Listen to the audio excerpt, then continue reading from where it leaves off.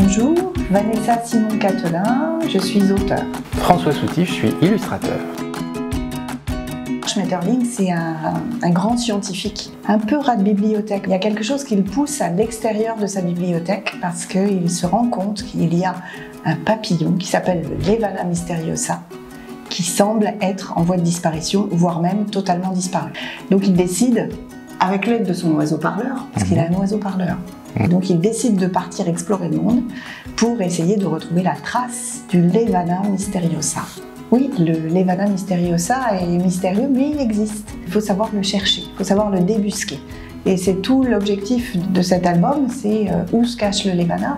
Et au fil des pages, on, on se rend compte qu'il est là depuis le début. Ça oblige euh, le lecteur en fait un petit retour en arrière. Il était où? Ah, il était là. Ah, il était là aussi, etc.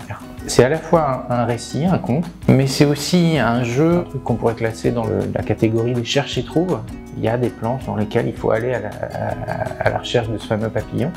Et euh, ce livre-là est une alerte pour inviter l'enfant à prendre euh, garde et prendre soin de cette merveilleuse nature qui les entoure. Il est publié en partenariat avec le Muséum national d'histoire naturelle. Du coup, il y a vraiment un lépidoptériste, c'est comme ça que ça s'appelle, un spécialiste des papillons qui a, qui, a, qui a, fait tout un volet documentaire qui sont les, les, quelques dernières pages du livre. Il y a vraiment un propos euh, scientifique, scientifique, les carnets de recherche, les planches, les essais de couleurs. Un premier croquis, en fait, c'est le point de départ de toute cette histoire, c'est-à-dire c'est ce que j'ai envoyé à Vanessa justement. Et donc il est, euh, il est dans son laboratoire, il sort, il n'y avait pas d'histoire de papillon, il n'y avait rien, il s'appelait simplement professeur Schmetterling. C'était un petit bonhomme qui était un peu rondouillard, tout ça s'est étoffé, et là donc euh, il, s'est allongé et il est devenu beaucoup plus euh, Don Quichotte.